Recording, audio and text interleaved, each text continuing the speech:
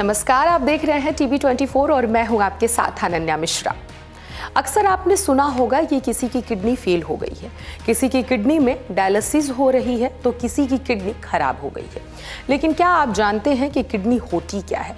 तो आपको बता दें कि किडनी बीन्स के आकार की दो अंग होती है, जो शरीर की पसली की गुफा में लटकती रहती है।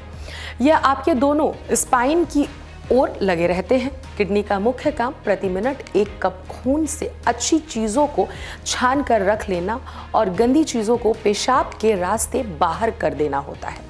यह यूरियन ब्लैडर से होते हुए दो पतली ट्यूब के माध्यम से शरीर से बाहर चला जाता है।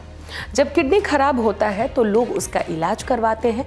जब बीमारी दिन प्रतिदिन बढ़ते जाती है किडनी की तो आखिरी समय में लोग किसी दूसरे शरीर का किडनी अपने खुद के शरीर में लगवाते हैं। लेकिन बीते दो महीने पहले की बात कही जाए तो अमेरिका के एक शख्स का किडनी खराब हो गया था। इसके बाद उसने शुअर का किडनी लगवाया। और वहीं अब उस व्यक्ति की मौत हो गई है। आइए विस्तार से आपको पूरी कहानी बताते हैं। बता दें, बीते मार्च के महीने में बोस्टन में एक शख्स को सुअर की किडनी लगाई गई थी। डॉक्टरों ने आनुवंशिक रूप से संशोधित किडनी को ट्रांसप्लांट किया और इसमें सफलता भी हासिल की। बोस्टन के मैसाचू सेट्स जर्नल अस्पताल के सर्जनों के रिचर्ड स्लैमैन नाम के बासठ वर्षीय व्यक्ति की सर्जरी कर सुअर की किडनी लगाकर उनको जीवन दान दिया गया था। और वो इस तरह की किडनी ट्रांसप्लांट कराने वाले पहले व्यक्ति दुनिया के बन गए। मेडिकल एरिया में ये एक बड़ी सफलता मानी जा रही थी और उन लोगों के लिए वरदान से कोई कम नहीं माना जा रहा था, जो किडनी की समस्याओं से लगातार जूझ रहे हैं।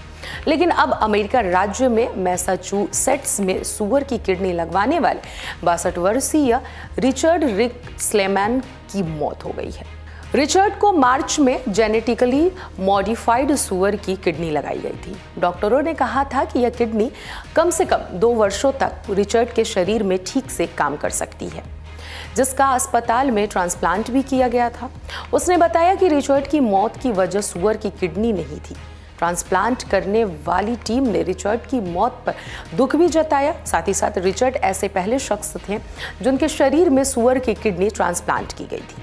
अब वही शख्स की मौत के बाद किडनी प्रतिरोपण करने वाली टीम ने एक बयान में कहा है कि सुलेमान के निधन से वो बहुत ज़्यादा दुखी हैं और उनके परिवार के प्रति संवेदना भी व्यक्त करते हैं।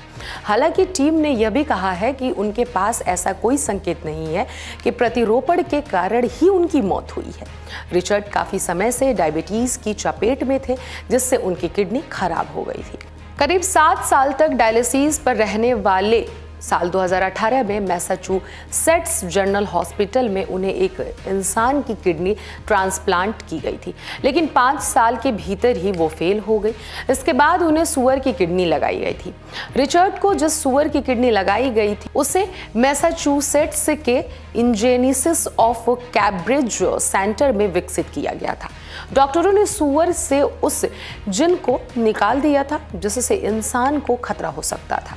साथ ही कुछ इंसानी जिन को भी इसमें जोड़ा गया था, जिससे इसकी क्षमता में इजाफा हुआ। इजेनेसिस कंपनी ने सुअर से उन वायरस को भी डीएक्टिवेट कर दिया था, जिससे इंसान को इन्फेक्शन हो सकता था।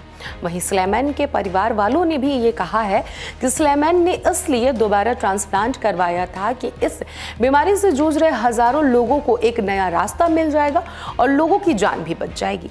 लेकिन अब अफसोस इस बात का है कि यह सर्जरी अब सफल रही और साथ ही साथ आपको बताते चले कि यह सर्जरी बिल्कुल भी सफल नहीं रही। जहाँ एक तरफ़ डॉक्टरों ने कहा था कि दो वर्ष स्लेमैन जीवित रहेंगे, वहीं दो वर्ष की जगह अब स्लेमैन सिर्फ़ और सिर्फ़ दो महीने ही जीवित थे और अब उनकी मृत्यु भी हो गई है। साथ ही साथ आपको बताते चले कि परिवार वालों ने यह भी उम्मीद लगाया था कि स्लेमन कम से कम दो वर्ष ज़रूर जीवित रहेंगे, लेकिन अब स्लेमन की मृत्यु हो गई है। इस पूरे मामले पर आपकी क्या प्रतिक्रिया है? ज़रूर कमेंट बॉक्स में जाकर अपनी राय साझा करें। अभी के लिए फ़िलहाल इतना ही। देखते रहिए टीवी ट्वेंटी